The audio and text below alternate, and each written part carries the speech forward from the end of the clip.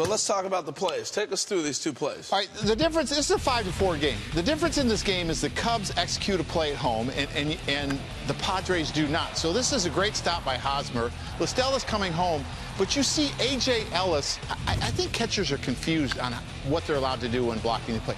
He falls down, and he's going towards third base. He didn't move his feet, and what I would have loved to have seen is I would have loved to have seen A.J. Ellis kind of step. Now, here's here's the situation with the Cubs. This is a great play by Javi Baez. What a reaction. Travis Jankowski on third base. And the first thing you're going to see is his lead is not big enough. You can get off as much as the third baseman is away. You're relying on your third base coach to tell you if you need to get back. If he does that, Javi Baez does not go home. But when you see this play by Javi Baez, and this is why I think he's an MVP candidate because of the defense he offers.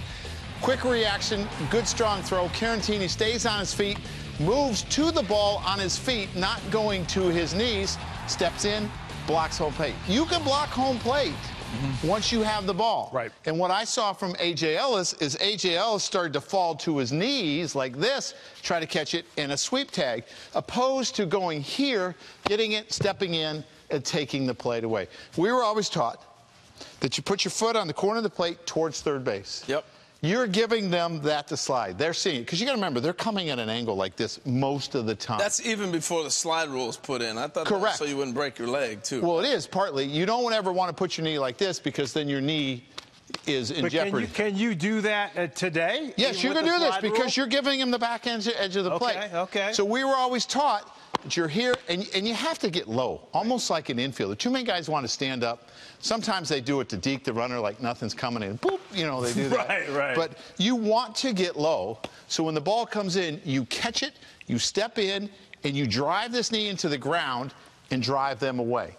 Hmm. And you put your hand on the ball. Ball, please.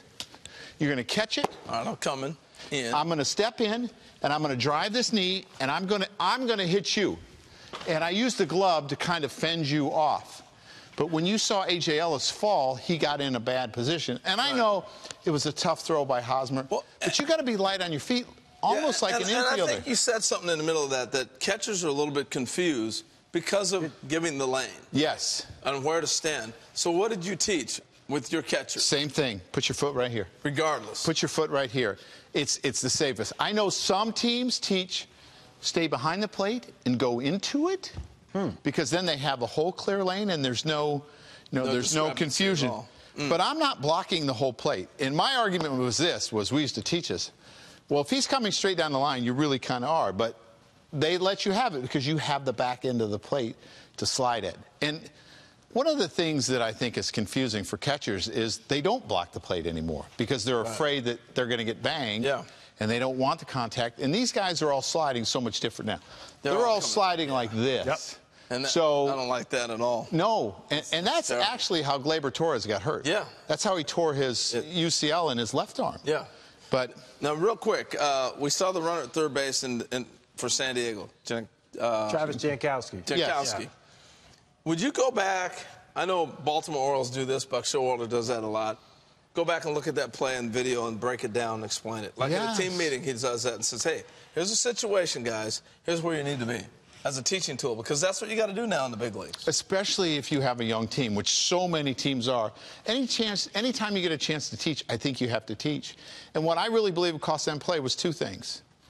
He didn't get a big enough lead, and he didn't trust that his third base coach would tell him if he needed to get back.